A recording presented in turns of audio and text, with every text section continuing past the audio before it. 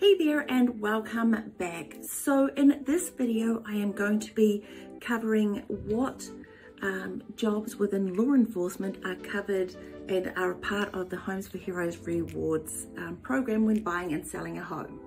So law enforcement, now this is whether or not it's part-time or full-time or maybe you're uh, volunteering in law enforcement in some way, shape or form. But if you are a police officer, a sheriff, a correctionals officer, FBI, DEA, uh, security guards, as well as any spouses that have lost a loved one in the line of duty.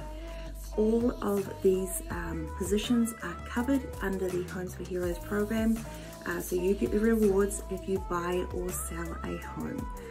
If there is another position that is within law enforcement that I haven't covered and you work in that field and you'd like to know if you're eligible, send me a message, give me a call or email and I will let you know. Have a fantastic day and stay tuned when I cover all of the other areas within the rewards program. Bye.